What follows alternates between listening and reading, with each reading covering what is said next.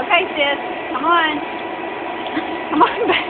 Chloe. You ready, Chloe?